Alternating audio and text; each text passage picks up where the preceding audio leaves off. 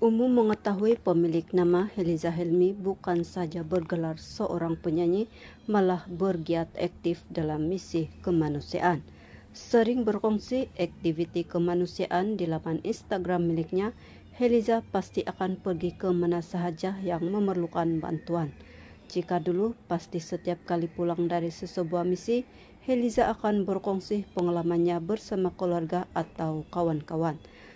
Tapi kini Heliza teruja untuk bercerita mengenai aktivitinya bersama suami tercinta yang dinikahi awal tahun lalu.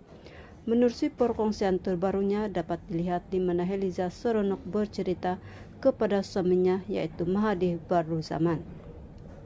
Meskipun mengantuk memandangkan hari sudah malam, namun Mahadi tetap setia mendengar perkongsian istrinya. Macik Abang di dengar Kak Ja se pasal misi sempurna at is time. Walaupun Abang di ngantuk tetapi gigi tahan mata. And the best part, Alhamdulillah ada projek-projek untuk misi sempurna. Alhamdulillah terus capai target. Alhamdulillah. Zahku maluhu. Abang di.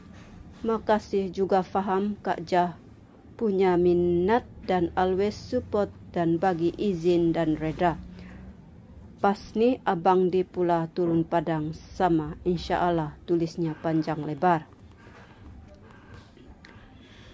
Abang di dalam hati ya Allah bini aku tak boleh tunggu esok ke nasiblah dapat wife battery full manjang hebat kak ja sentiasa energetik.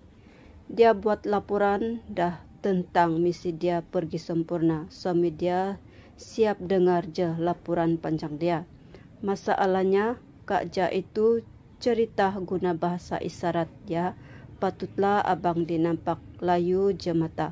Alhamdulillah, suami Mitahel akan sentiasa sabar dan menjadi pendengar setia bagi para istri yang lumrah wanita akan suka bercakap dan non-stop.